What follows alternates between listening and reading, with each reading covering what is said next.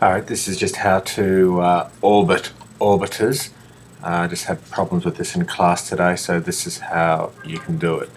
First of all, we'll start with this uh, blue ball, and we'll make that our moon. So I've just got to go up and make a, uh, a, a motion path for that moon. And I'm just going to click once and twice and animate motion paths attached to motion paths. All right, and just make sure that you uh, put your uh, you, you, select the options there. All right.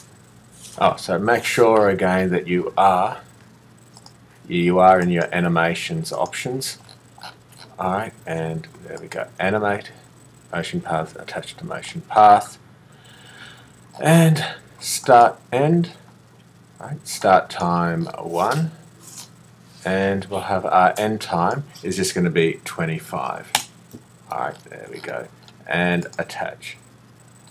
Okay, now, should also make sure, um, I'll give myself, say, uh, 500 uh, frames in this, uh, this little animation.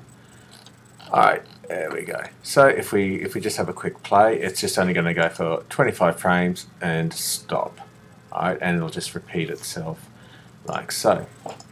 Alright, so what we've got to do is we've got to select our uh, emotion path just here and then I've got to make sure that I'm in the right one, my channel uh, is my channel box editor here. Alright, now I've got to select my motion path down here. Alright, once I've done that, I'll just go down, select my graph. Alright, and here it is. Alright, that's 25 frames. I'm just going to click and drag over that.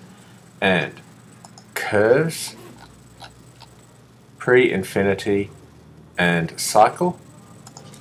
And curves, post-infinity, and cycle. Alright, so that means that now that's just going to go forever. Yep, there we go. Good. Now let's go back to frame one. Go back down to here. Alright, now uh, I need to uh, I need to because this has an animation in it I can't add another animation to it so what I need to do is say go to my outliner alright and where is it? Yep. Okay, got my curve here. I need to, alright, again, just make sure it's only the curve that you've selected. And I just need to Command G, which is group. Alright, there we go. Done that. Now I can just bring my earth into this. Alright, so there I go. And there's that orbiting. Now I've got that. What I need to do is to group all of that.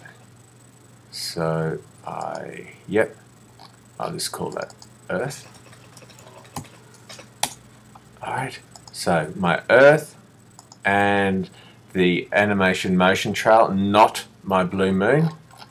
I'll now edit and group there, down here. Alright, so once I've done that, you'll see it all there. I'll call that Earth Moon. Right, now I can select that. Well, no, I won't. I'll just make my curve first. Okay, there's my uh, my outer orbit. All right. So now I've got to select my Earth first and then I select my curve and I'll go animate motion paths attach to motion path click on my options. I'll change that to uh, 500 500 frames and attach. Good. Alright.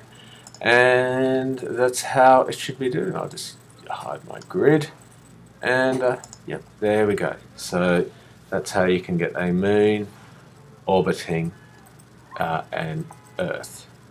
Okay, there we go. And stop.